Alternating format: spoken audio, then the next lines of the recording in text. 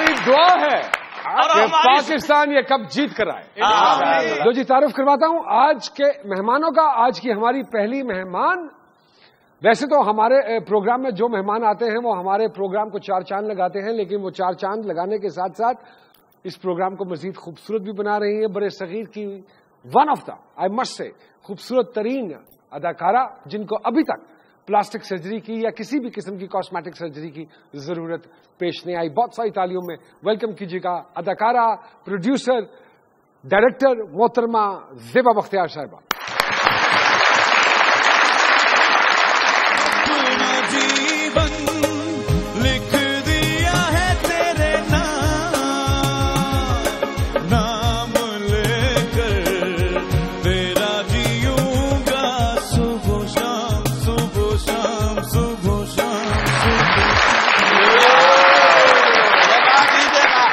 गाना आपने यकीनन मेरे लिए गाया होगा आपको कैसे पता चला? भाई चेक तो नहीं। Welcome to मुजाकरात thank you for inviting me और हमारे दूसरे मेहमान जब पिछली मरतबा आए थे तो दूध से हमारा दिल खराब कर गए थे लेकिन आज देखते हैं कि हमारा कौन सा सोयावा भट्टी वो जगाएँगे? आज हमें किस चीज़ की तरफ़ निशानदेही करवाएँगे कि किस किस चीज़ में मिलावट होती है? बहुत सारी थालियों में उनको भी वेलकम कीजिएगा जनाब मोहसिन भट्टी साहब।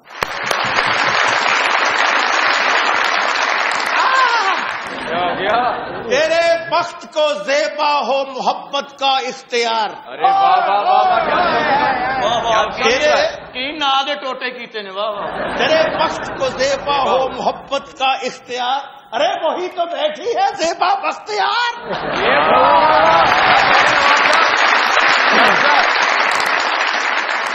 इतफाक हुआ ज़िंदगी में कभी पहले इनमें से किसी के साथ काम करने का?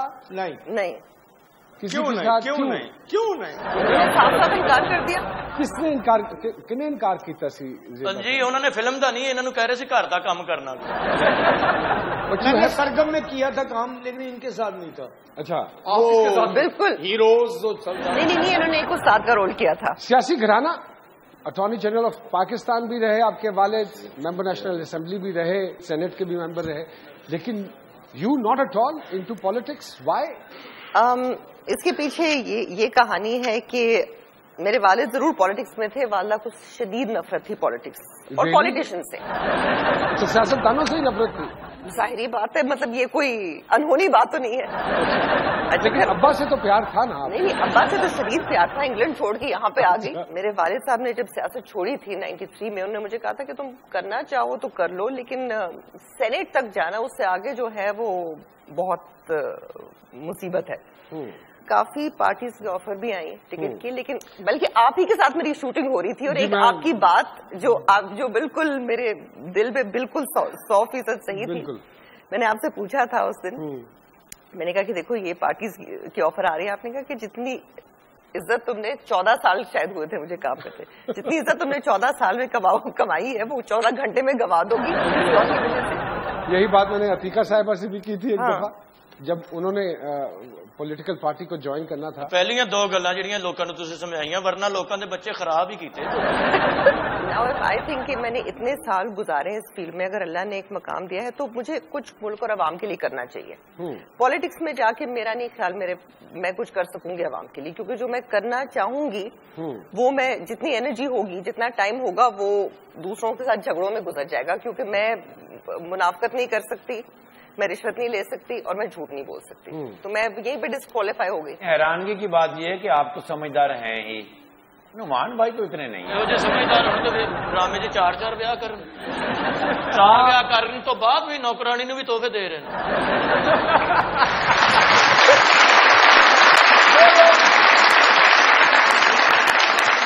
बसी साहब आपकी तरफ़ से कभी कोई अच्छी खबर क्यों नहीं है मुझे जो कुछ नज़र आता है जो मैं चीज़ें देखता हूँ वही बताता हूँ। और ये सिर्फ़ आप ही को क्यों नज़र आता है भट्टी साहब? आप अगर किसी रेस्टोरेंट में जाते हैं और उसके ऊपर लिखा हुआ है कि रिस्ट्रिक्टेड एरिया आप किचन में नहीं जा सकते हैं। तो आप तो बाहर उनका डाइनिंग एरिया देख के बड़े खुशी खुशी वापस आ जाते हैं। बट भट्टी साहब मैं तो पीछे जाता हूँ। But you need to an authority to enter anybody's kitchen. इसके लिए अथॉरिटी होनी चाहिए। हमारी चूँकि एनजीओ है जो हम कंज्यूमर राइट्स के लिए काम कर रहे हैं तो हम फिर मुतलका महकमों को साथ इन्वॉल्व करते हैं। और फिर उनको लेके जाते हैं फिर हमारे पे एक एक ट्रस्ट डेवलप हो चुका है तो लोग फिर हमें खुद से भी बताते हैं कि जी इस जगह पे ये है जैसे एक बहुत बड़ी फ्लोर मिल थी वहाँ पे जिस तरह आटा बन रहा था वो बहुत ही पथेटिक कंडीशन थी गंदम के साथ साथ काकरोच भी पीस रहे थे तो अंदर के लोगों ने बताया तो हम वहां पे गए हैं ਕੀ ਸਾਹਿਬ ਚਾਹੁੰਦੇ ਨੇ ਕਿ ਅਸੀਂ ਭੁੱਖੇ ਮਰ ਜਾਈਏ ਸਾਡੇ ਮੂੰਹ ਵਿੱਚ ਵੜ ਜਾਣ ਧੌਣਾ ਲੰਮੀਆਂ ਹੋ ਜਾਣ ਸਿਰ ਵੱਡੇ ਹੋ ਜਾਣ ਲੱਤਾਂ ਸਾਡੀਆਂ ਏਡੀਆਂ ਏਡੀਆਂ ਅਸੀਂ ਪਹਿਲੇ ਦੁੱਧ ਪੀਣਾ ਛੱਡਿਆ ਸੀ ਹੁਣ ਅਸੀਂ ਗੰਦਮ ਖਾਣੀ ਛੱਡ ਦਈਏ बताएं ये जो ਛੱਡੋ ਛੱਡੋ ਤੁਹਾਨੂੰ ਕੀ ਲੋ ਤੁਸੀਂ ਨਾ ਕਹੋ ਜੀ ਤੁਸੀਂ ਖਾਓ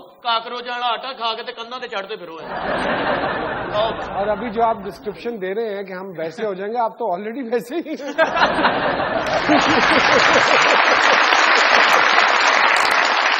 भट्टी साहब उस दिन आपने हमारा दूध छुड़ाया था आज हमें रोटी शुरू करवाते आज रोटी छुड़वा रहे हैं। वो अच्छी बात बता मकसद ये है कि अवेयरनेस आ जाए हम यहाँ गवर्नमेंट को जगाना चाह रहे हैं। तो उसके बाद फ्लोर मिल्स एसोसिएशन स्ट्राइक पे चली गई और गवर्नमेंट ऑफ़ पंजाब घुटने टेक गई।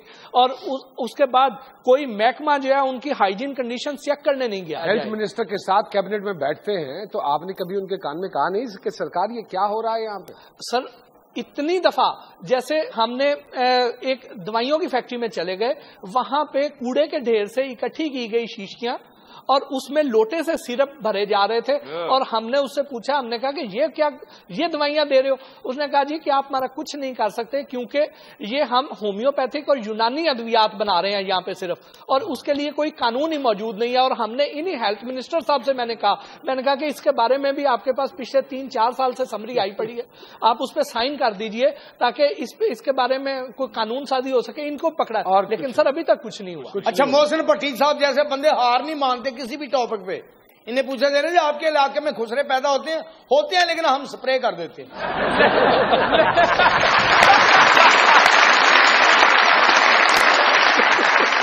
जेबा बख्तियार साहब, हमारे साथ स्टूडियोज में मौजूद हैं मोहसिन भट्टी साहब। हमारे साथ स्टूडियोज में मौजूद हैं। एक छोटी सी ब्रेक के बाद आपकी खिदमत में दोबारा हाजिर होता है। जी डीजे तो अहदे खूबशानी और है। गोया बाकी राजधानी और है। फिर से गायब हो न जाए पेट्रोल के अभी कीमत गिरानी और है। डीजे ये कशकोल ला टूटा अभी यानी के इमदाद आनी और है। आ जब रीफिलिंग होती है डिशेज की हम्म। उसमें पुराने और बासी खाने सब चल जाते हैं। अच्छा मोहसिन साहब दूल्हा होंगे पुराने होंगे नवे का निकाह कराने।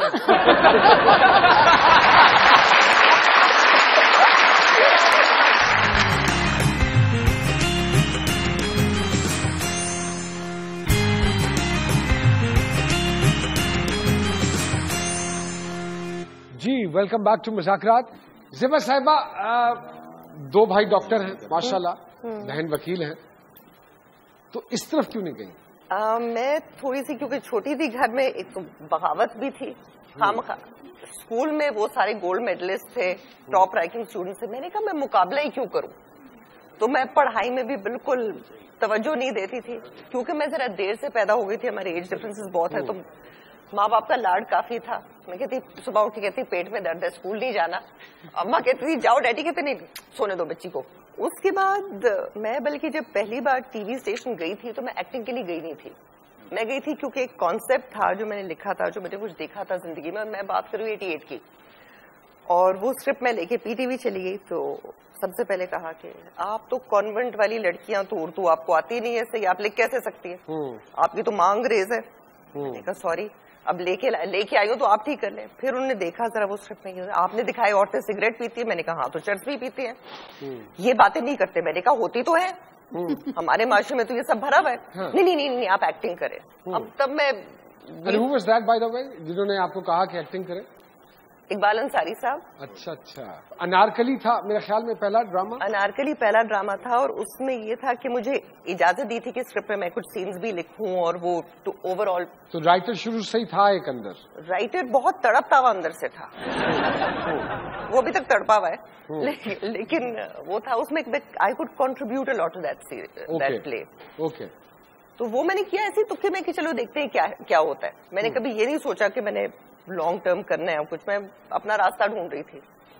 तो वो कुछ ऐसे रास्ते पे चल पड़ी कि वो खुद ही यहाँ तक पहुँचा ले आया अनारकली का रोल किया था। अनारकली का रोल किया मैंने भी नीले गुंबद का किया था। वो तो दिख रहा है।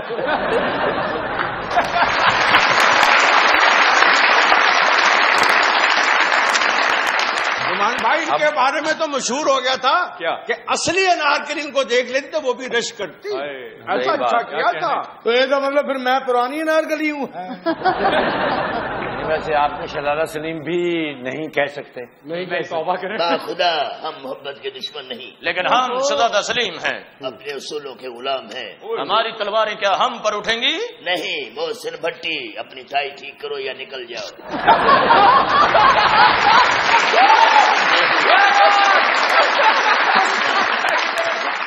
साहब आज आप हमें बताएँगे कि ये जो आजकल क्योंकि सीज़न है शादियों का फ़ंक्शंस का तो जो खुराक वहाँ खाने को मिल रही है है क्या वो इतनी हाइजेनिक है कि हमें फंक्शनों पे या घर से खाना खा के जाना चाहिए हमें? होता यह है कि आजकल शादियों का सीज़न बड़ा अरूज पे है।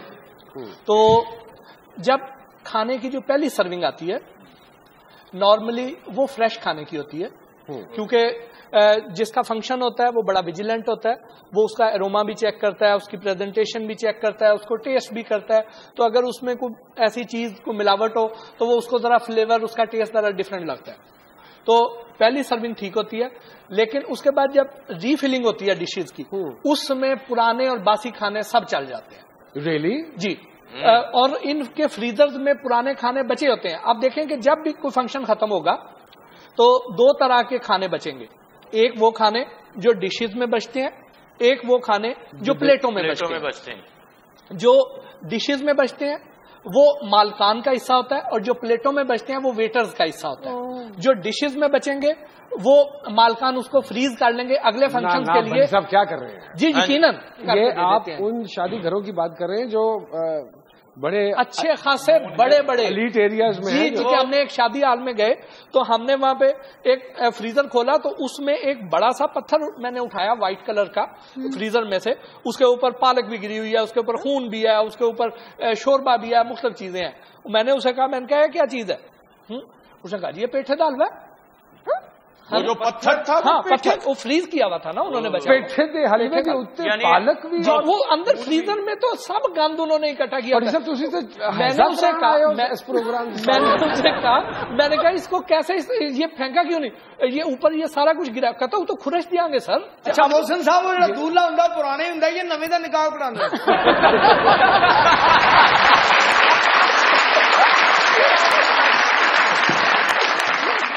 आपका क्योंकि ये प्रोग्राम बहुत ज़्यादा देखा जाता है। बंद और- करवा दोगे तुसी? नहीं सर। बंद करवा दोगे हंसो तो हमें देखा जाता था। तो हमें लोगों को अच्छी बात बतानी है।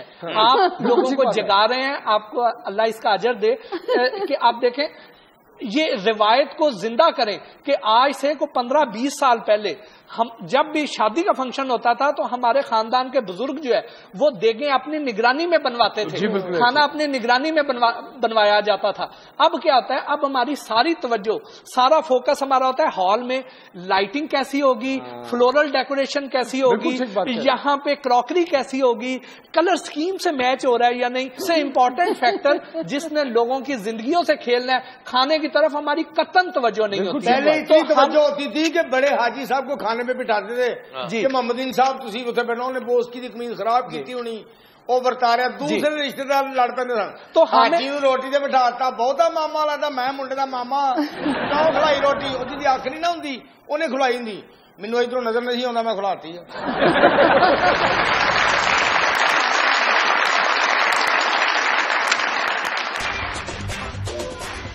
शबाब हुस्न का हुस्ने शबाब देख लिया।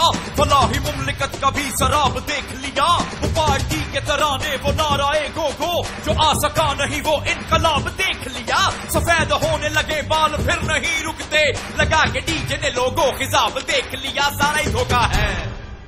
लू है पानी पानी पानी पानी पानी पानी और दिल भी सैनी सैनी सैनी सैनी सैनी सैनी आजा ओ मेरी दिल मेरी दिल नारी दिल मेरी नारी लेकिन नारी निकल लाइन दिल अच्छा वेख बाबे नु आउंदा नहीं फिर भी ताड़ियां मार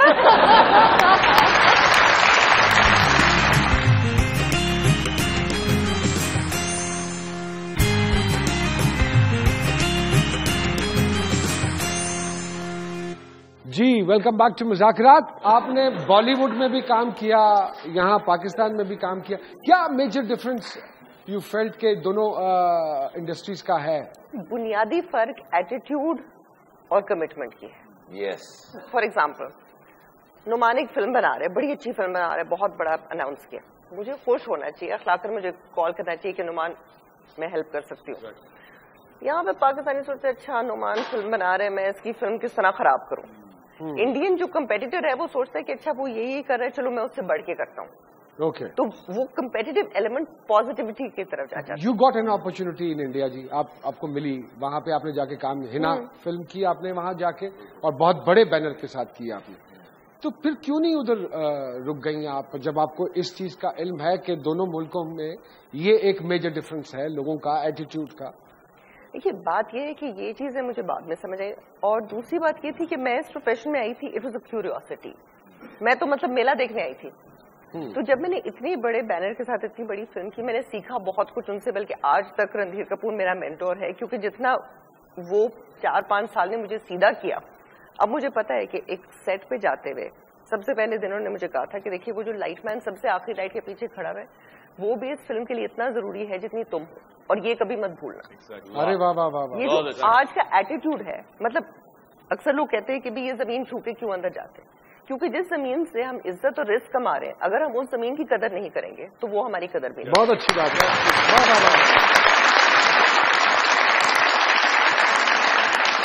तो यहाँ आके डायरेक्शन की यहाँ आके डायरेक्शन की प्रोडक्शन की। प्रोडक्शन भी की।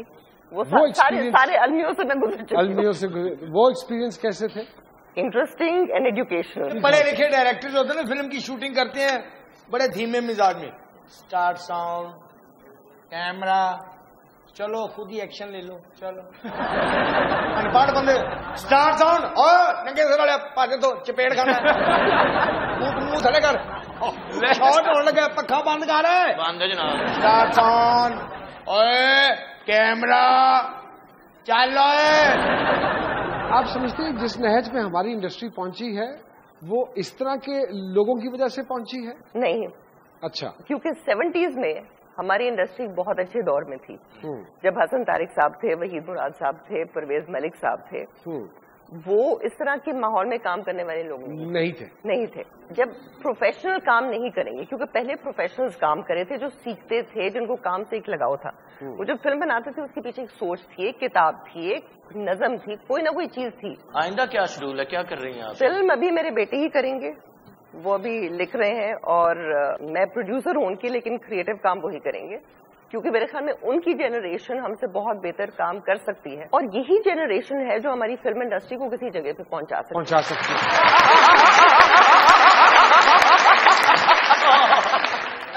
भाई है कोई सखी है कोई सखी जो बाबे को साठ इंच की एलईडी किस्तों पे ले दे?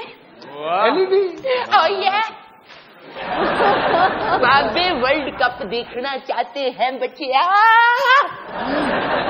तो किस्तों पे क्यों? ओ बाबे को जेड़ी नगद सी बाबा हार बैठा है।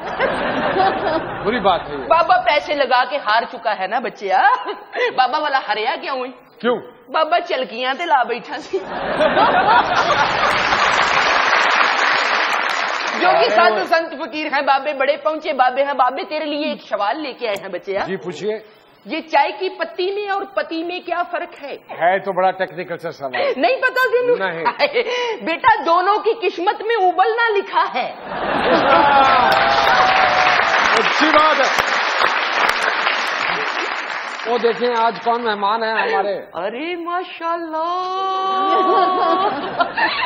ਤੇ ਤੁਹਾਡਾ ਨਾਲ ਕੀ ਕੰਮ ਹੈ ਜੀ माशाल्लाह मोशन पट्टी साहब आके बैठे हैं ये बाजी आके बैठी है हाय, पट्टी बनना को मुश्किल नहीं बचिया अच्छा हाँ, हर चीज जो नुक्श कड़ी जाओ पट्टी तैयार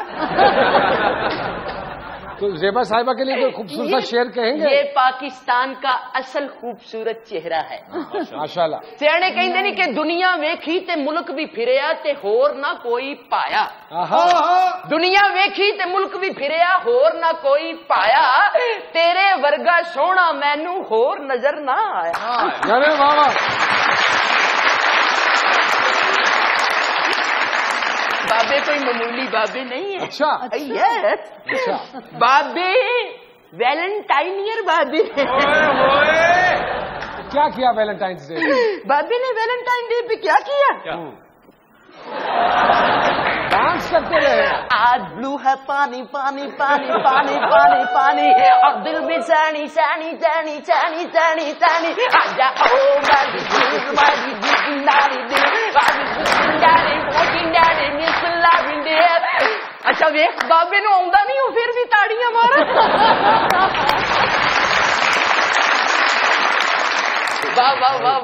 आज तू रसगुल्ले रखे हुए हैं अल्लाह हैर रखे अल्लाह हैर रखे अल्लाह हैर रखे पट्टी साहब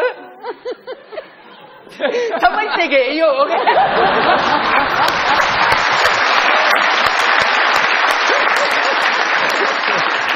देख फिर जरा देखती हैं, आँख और सुनती, कानों के सामने जोगी, साधु, संत, फकीर, सांप निकालने जा रहा है बचिया। हे चटपन, चौड़ चपन, जटपन, तुम तड़ाक शू छड़ाक। हे काली कलकत्ते वाली तेरा बाहर न जाए खाली जो भी है, हाथ में लेके थाली और लंगर लेके जाए। हे दागड़दा दागड़दा दागड़दा कर दिन ता खरियाँ बोतला खरियाँ बोतला, सुचियाँ बोतला। आ, भाई कुल्लू, पुल्लू चूच पुल्लू हट कटोरी, चू। हे मुँह जमाली काला, तितर, चिट्टा, तितर, लंगूर। ए हट कटोरी, चू, प्याला, काला, तितर, मफरूर। भाई दागड़दा दागड़दा दागड़दा कर दिन ता आ। छाप निकली? नहीं। नहीं। सीधा हो जा फिर टीका निकला है। एक एक मिनट। ये किस चीज़ का टीका निकाल लिया भाई? ये कोई मज़ा नु लाने वाला नहीं। हाँ। ये बचिया ईमानदारी का टीका। तो ये सियासतदानों को क्यों नहीं लगाते आप? जिसके पास ये ईमानदारी का टीका है ना हाँ वो दूसरों को लगाना चाहता है अपने आप को नहीं लगाना चाहता। हाय हाय हाय हाय हाय, ये खुद क्यों नहीं लगाते अपने आप? को? बाबा लावे अपने आप नु सुई तेनू चुंबे बने जोगी है तेरी कमाल ये बजी। हाँ जी। जब आपने पहली फ़िल्म की थी तब ये सेल्फी का रिवाज था। नहीं जरा आए। भी महँगा रखिया किदा चुकी है ये? अच्छा। तब सेल्फी का रिवाज नहीं था। तब तो मोबाइल फ़ोन भी नहीं थे। अब तो है ना। ये है। अंधेरा उजाला। ए वन मोर अंधेरा उजाला। खूबसूरत है। बाबे नु व्हाट्सएप कर।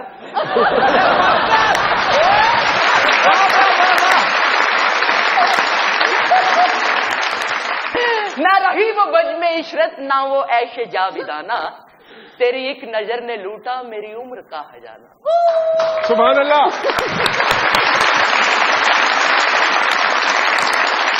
यहाँ ले लेते हैं ब्रेक और ब्रेक के बाद जब हम वापस आएँगे तो सामने जी से पूछेंगे कि जेबा बख्तियार साहिबा के सितारे क्या कहते हैं? जी जनाब।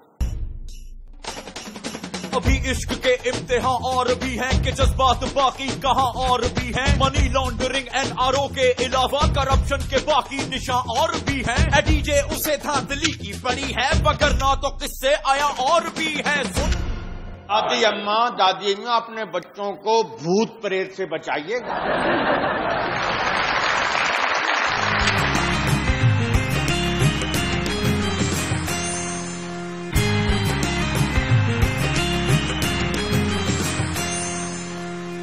जी सामने जी जेबा बख्तियार साहिबा के सितारे क्या कहते हैं? अगर जेबा जी का नाम जेबा ना होता ये एक जलाली किस्म का बाबा होती क्योंकि इनकी जो स्पिरिचुअल साइड है वो इस कदर स्ट्रांग है नोमान जी। अब आई डोंट नो घर का माहौल ऐसा था या ये अपने घर में कोई डिफरेंट बच्चा पैदा हुई तो आप पूछिए। जी डिफरेंट थी आप घर में हर बच्चा कुछ ना कुछ डिफरेंट होता है लेकिन आप में क्या डिफरेंट चीज़ थी? क्या पैदा होते ही लुड्डो खेलने लग पड़ी थी? भाई वो था मेरी वाला की वाला का भी मिजाज उस तरफ़ था। वैसे तो यूरोपियन थी शी कन्वर्टेड टू इस्लाम और उसके बाद बहुत ही शदीद मुसलमान तो ये जो वो कह रही है रूहानियत की तरफ़ थोड़ा सा वो तो वालदा थी। आपका अपना रुझान था? रूहानियत अल्लाह से ताल्लुक जोड़ने वाली बात है। जेबा जी में ये भी कमाल पाया जाता है कि बड़े आराम से चेहरा शनासी कर सकती हैं क्योंकि इनको हर चीज़ की तह में जाने का बड़ा शौक है इंक्यूजिटिव मिजाज की है। तो जरा बच के हम भी इसी तरह हम डॉक्टर और बड़ों से कुछ नहीं छुपाते। अच्छा दूसरा जी अपनी एज से हमेशा दस साल आगे सफ़र करती रही है। पैदाइशी संजीदा बच्चा। अच्छा जो इनकी एक नेगेटिव बात जिससे लोग अक्सर ऑफेंड हो जाते होंगे या नुमान जी इनमें बहुत ज़्यादा सब्र है बहुत ज़्यादा पेशेंस है। या ये इंतहा की इम्पेशेंट हो जाती है। ये जो स्विंग्स है ना ये अक्सर बेचारों को लोगों को डिस्टर्ब कर जाते होंगे। ये वक्त के साथ साथ एक्सपीरियंस के साथ साथ स्विंग आई है जी मूड में? ये कुछ शुरू से है। मतलब कोई बड़ी बड़ी हरकत कर जाएगा। कुछ कोई ऐसा नहीं होगा। कोई आके मेरे बेड पे बैठ जाएगा या कोई ऐसी हरकत करेगा कि मैं पागल हो जाऊँगी। सो डिफ़िकल्ट हुई ना फिर तो आप बहुत I can be very easy going and I can be very difficult अल्लाह ताला ने विजडम बहुत दिया हुआ बहुत तेज दिमाग इनको दिया विजन बहुत अच्छा है इनका। एक अपनी सेहत का ख्याल इनको रखना चाहिए। घर वालों का प्यार जेबा जी की बहुत बड़ी एक स्ट्रेंथ है वो खाना इनका सबसे स्ट्रांग खाना है। एक चीज़ और कहना चाहूँगी जैसे आपने पहले कहा कि डॉक्टर यकीन कीजिए ये सक्सेसफुल सर्जन होती काश के ये डिग्रीज के बगैर भी पूरी स्कॉलर एक बहुत बड़ी वो मैं इनको डॉक्टर कह सकती हूँ। और नुमान जी जो इनके बारे में चले डॉक्टर नहीं बन सकी वो वक्त हाथ से चला गया। लिखने में एक धमाका कर सकती हैं जेबा जी कुछ लिखना नहीं चाह रही है। शौक तो आप लिखती भी हैं शौक है शौक है लिखती भी हूँ। और अभी मेरा बेटा मुझे बहुत ज़ोर दे रहे है कि कुछ लिख तो अगले प्रोजेक्ट पे काम हो रहा है? फ़िल्म आसान लिख रहे हैं। हाँ। बाकी लिखना पढ़ना मैं कर रही हूँ। ओके। और फ़िल्म इंशाल्लाह जान मेरे ख्याल में समर तक अनाउंस कर लेंगे। दोस्त करीबी दोस्त हल्का अहबाब कुछ नहीं करीबी दोस्त वो है जो स्कूल में और कॉलेज में साथ थे दोस्त वही होता है जो स्कूल और कॉलेज से होता है। और वो बदकिस्मती से सारे कोई अमेरिका कोई कनाडा कोई ऑस्ट्रेलिया तो उनसे रबता तो रहता है। ट्रैवलिंग का शौक है बहुत। ट्रैवलिंग का शौक है। वेकेशन प्लान आउट करते हैं। अजान और मैं अकेले ही रहे। तो समर वेकेशन हाँ हम ज़रूर जाते थे जब तक मेरी वालदा थी। अभी अजान की अपनी फैमिली है तो माशाल्लाह। हाउस द बेबी हाँ जी मैं दादी अम्मा बन चुकी हूँ। माशाल्लाह। दादी अम्मा है। माशाल्लाह। दादी ऐसी दादियाँ देखी हैं कभी? दादियों का इनकलाब है। मैं दा, दादी इनकलाब लाना चाह रही हूँ। दादी अम्मा दादी अम्मा अपने बच्चों को भूत प्रेत से बचाइएगा वक्त हुआ है एक ब्रेक का। कहीं मत जाइएगा। जी दीजिए। आदमी को साहिब किरदार होना चाहिए, फिर भी थोड़ा सा तो असरार होना चाहिए। देर तक आवारगी करता रहे वो रात को दोपहर को नींद से बेदार होना चाहिए। सुनते रहना चाहिए डीजे हुकूमत की तरह। काम वाली बात से इनकार होना चाहिए, बस हाँ।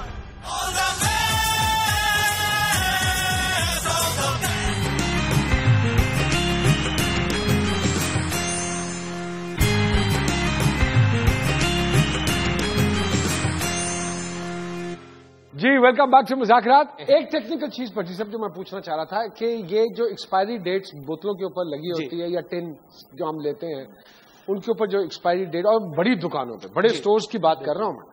तो वहाँ तो ये एक्सपायरी डेट का भी कोई है चक्कर? ये रिप्लेस हो सकती है change हो बहुत सकती बहुत अच्छी आपने ये पॉइंट रेज किया। Thank you you, uh, Bhatti साहब, थैंक यू ये देखिए भाई आप बड़े होकर क्या बनेंगे?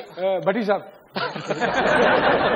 ਭੱਟੀ ਸਾਹਿਬ ਤੇ ਆਪਣੇ ਬੱਚਿਆਂ ਨੂੰ ਨਹੀਂ ਖਿਡਾਉਂਦੇ ਘਰਦਿਆਂ ਨੂੰ ਸ਼ਿਕਾਇਤ ਹੈ, ਚਾਰ ਬੱਚੇ ਮਾਸ਼ਾਅੱਲਾ ਹੋ ਗਏ ਨੇ ਨਾ ਕਦੀ ਬੱਚੇ ਨੂੰ ਚੁੱਕਿਆ ਨਾ ਕਦੀ ਪਿਆਰ ਕੀਤਾ वो भाभी साड़ी कहती भट्टी साहब बच्चे को उठाएं मैं कैसे उठाऊं इसे धूप में रखोगे इसका लेबल खत्म हो गया इसको जरा बड़ा हो जाएगा तो छोटा होगा फिर ऐसा होगा तो ये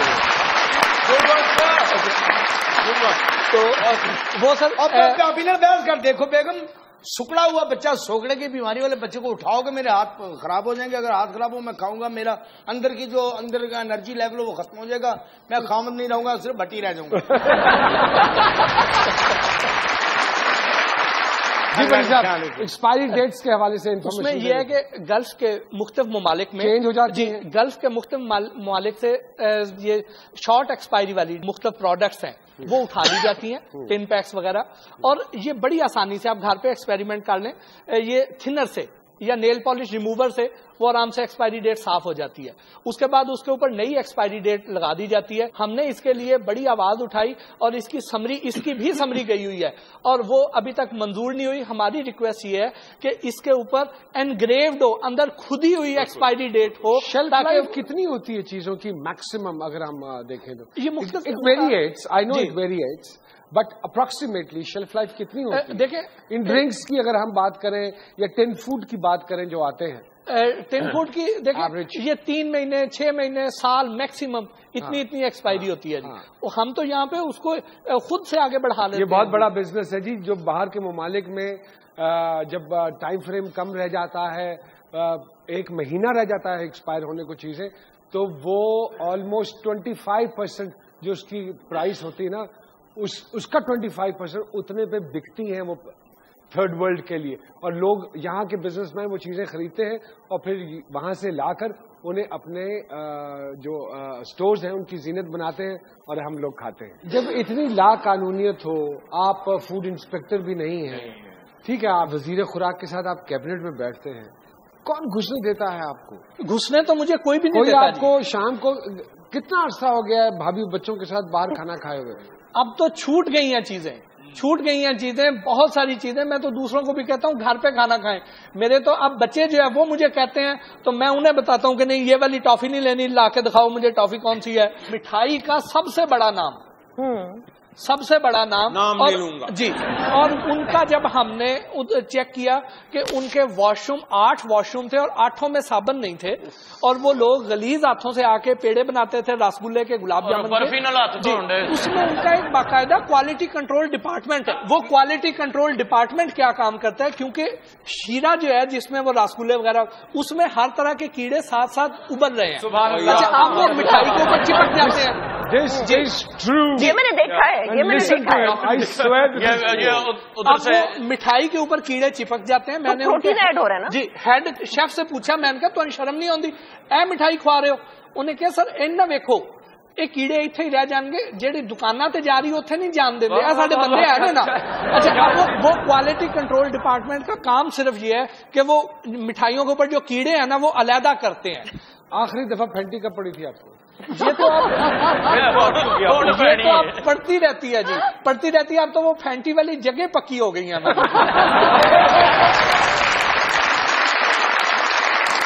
साहब thank you very much for coming all the way from Karachi जी। बटी साहब आपका बहुत बहुत शुक्रिया। एक मरतबा फिर से दिल खराब किया आपने हमारा बहुत सारी चीज़ों के लिए। हमारे प्रोग्राम के एंड में हमारे डीजे डार्लिंग जो है जी वो जो कौम के दिल की आवाज़ है वो पेश करते हैं गाने के ज़रिए आपकी खिदमत में हाजिर है। जी जनाब।